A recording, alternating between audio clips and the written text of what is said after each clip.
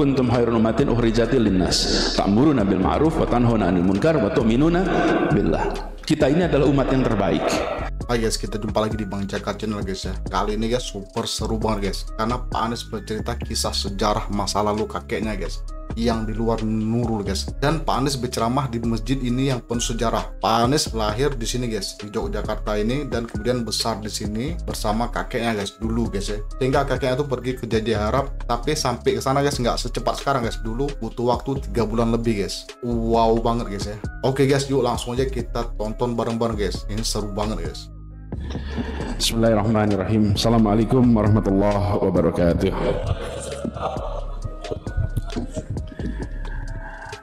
Alhamdulillah. Alhamdulillahilladzi arsala rasulahu bil huda wa dinil haq liyudhhirahu ala dini kullihi wa kafa billahi syahidah asyhadu an la ilaha illallah wa asyhadu anna muhammadan abduhu wa rasuluh. La nabiyya ba'dah. Yang amat saya Wow, cara ceramah guys ya, pembukaan ini guys ya. Ini benar-benar mirip Ustadz asli guys ya. Dan capres guys ya, ini keren banget guys. hormati yang saya muliakan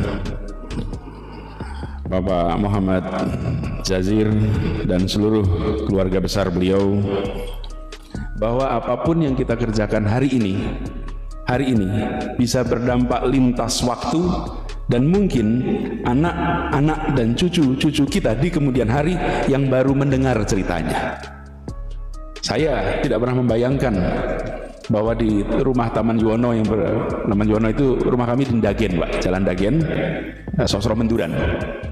Itu ada sebuah rumahan milik keluarga Haji Bilal. Jadi keluarga Haji Bilal itu, Bapak sekalian, pas kemerdekaan dulu, ibu kota pindah. Pindahnya dari Jakarta ke Jogja. Kita Semua pejuang-pejuang itu pindah ke Jogja, tidak ada yang punya rumah. Termasuk kakek kami, nggak punya rumah. Haji Bilal menyiapkan rumah lebih dari 40 rumah. Wow, orang kaya 20 di Taman Juwono, terus 20 lagi di belakangnya Malioboro Mall gitu itu. Dan ada beberapa tempat lainnya. Semua silahkan pakai tempatnya dan disilahkan pakai sampai waktu yang beginilah kira-kiranya. Tidak ada yang namanya hitung-hitungan. Silahkan pakai, gantian pakainya. Berarti guys, Haji Bilal dermawan banget guys. Nah termasuk kakek kami yang hijrah ke sini. Itu Pak Jazir almarhum Ilayarham Pak R itu berangkat bersama Agus Salim dan lain-lain ke Timur Tengah untuk mengikhtiarkan pengakuan bagi Republik. Berangkatlah meninggalkan istri dan delapan anak di Jogja. Berangkat ke Timur Tengah perjalanan itu beberapa bulan untuk ke sana. Sampai ke Kairo dan alhamdulillah di Kairo lewat perjuangan diplomasi yang panjang keluarlah pengakuan de jure dan de facto bagi Indonesia. Itu adalah pengakuan pertama. Ada negara yang mau mengakui Indonesia. Yang mengakui pertama adalah Mesir waktu itu. Jadi kakek pulang ke Jogja membawa surat itu perjalanannya panjang mampir ke India mampir macam-macam pulang sendirian dan untuk membawa masuk surat pengakuan itu yang ditandatangani oleh Perdana Menteri Mesir itu dimasukkan ke dalam kaos kaki di dalam sepatunya. Ketika di pemeriksaan di Kemayoran lolos surat itu ada dalam kaos kaki. Karena kaos kakinya nggak diperiksa. Ya dulu gitu. yang lainnya diperiksa. Masuk sampai ke Jakarta sampai akhirnya singkat cerita sampai ke Jogja.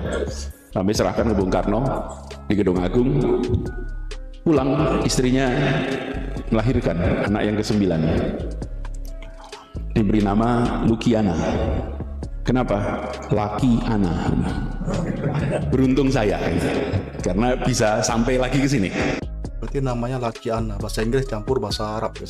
Laki Ana. anak sebelumnya yang nomor 8 diberi nama Imlati. Imlati itu artinya Indonesia merdeka lekas akan tercapai insya Allah. Wow. Lahirnya 1 namanya Juni singkatan. 1945. Jadi lahir 1 Juni, beliau masih di BPUPKI, itu semua orang sudah merasakan insya Allah Indonesia merdeka. Bulan Juni itu, Agustus kita merdeka. Tapi belum tahu bakal merdeka apa tidak. Lalu anaknya lahir yang ke-8 dikasih nama Imlati. Banyak yang tidak tahu itu kepanjangan. Indonesia merdeka lekas akan tercapai insya Allah. Yang nomor 9 dikasih nama Lukiana karena laki anak. Lukiana. Istrinya kena malaria. Wafat. Dengan 9 anak di Jogja. Sehingga kakek dan keluarga ketika Republik pindah lagi ke Jakarta, maka kakek kami dan keluarganya tidak pindah lagi karena tidak ada, beliau tidak ada tidak ada istri, sembilan anak dan bayi yang sudah ditemani oleh masyarakat di Jogja dengan support system yang luar biasa.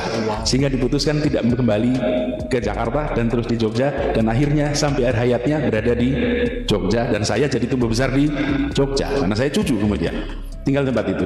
Nah, kisah perjuangan kemudian banyak sekali. Saya merasa bersyukur sekali karena Pak Jazir ini memiliki memori atas peristiwa-peristiwa penting yang tersembunyi yang sering kali terlewatkan di dalam catatan sejarah kita. Jadi Pak Jazir harus banyak bercerita dan direkam ceritanya. Hmm karena beliau pelaku, beliau membaca, beliau merangkaikan. Pelaku Ada yang menjalani tidak merangkaikan, ada yang membaca tidak merangkaikan, ada yang menjalani tapi tidak membaca. Ini membaca, menjalani dan bisa merangkaikan sebagai sebuah cerita.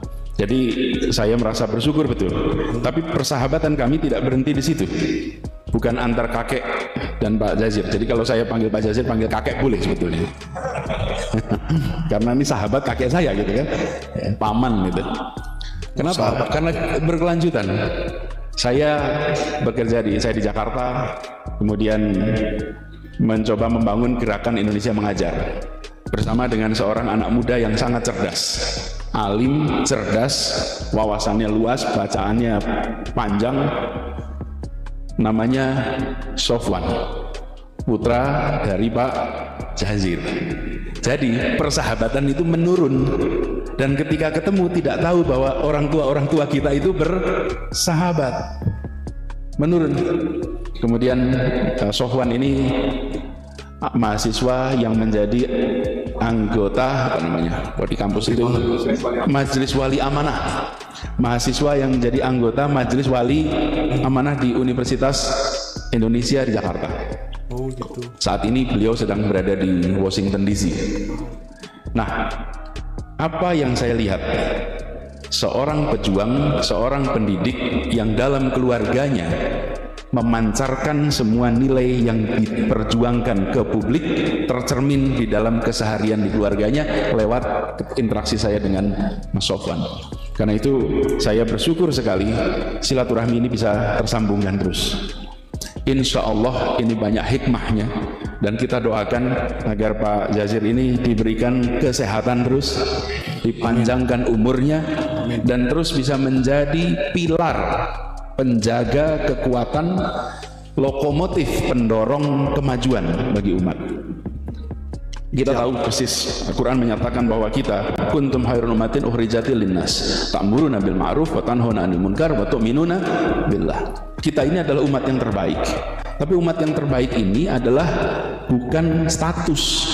Umat yang terbaik itu adalah yang harus diperjuangkan diperjuangkan. Kehormatan tanggung jawab yang harus diperjuangkan. Dan saya menyaksikan saya rasa umat Islam di Indonesia menyaksikan Masjid Joko Karyan ini menjadi contoh bagaimana ketika diberikan amanah menjadi yang terbaik itu diwujudkan di dalam manajemen keseharian. Yang terbaiknya itu bukan status yang terbaiknya itu bukan statement yang terbaiknya itu adalah keseharian kebiasaan yang kalau dalam bahasa rumitnya itu namanya budaya. Budaya itu adalah kebiasaan. Masjid Jawa Karyan memiliki itu.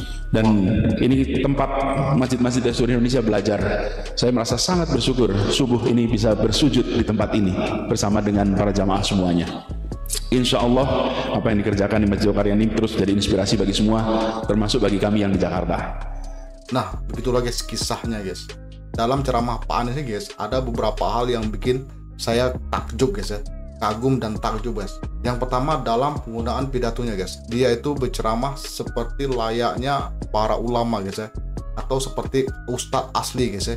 Bahasa Arabnya paseh ya kan? Kata sambutannya paseh guys. Kemudian di akhir video Pak Anies juga melantunkan ayat suci dan menjelaskan arti dan maknanya guys. Ini guys bener-bener di luar nurul guys ya mungkin paslon lain guys nggak bisa kayak gini guys. Menurut saya guys ini adalah ilmu baru guys ya. Karena saya baru dengar kisah-kisah kayak gini guys ya. Dan ini sangat mengagumkan kisahnya guys. Nah bagaimana guys menurut kamu? Langsung aja tulis opini pendapat sanggahan dan kritiknya guys ya. Thank you guys udah nonton sampai selesai. Dan saya akhiri video ini. Sampai jumpa lagi. Wassalamualaikum warahmatullahi wabarakatuh. Ciao. Ciao. Gila bener guys kisahnya guys bener-bener ilmu baru guys ya. Kisah langka guys. Ternyata kakeknya itu berjasa banget guys ya bagi kemerdekaan Indonesia. Mungkin gara-gara diplomasi kakeknya itulah ya kan? Makanya Mesir itu yang pertama di dunia guys ya. Negara pertama satu-satunya yang mengakuin Indonesia merdeka. Itu kan wow banget guys ya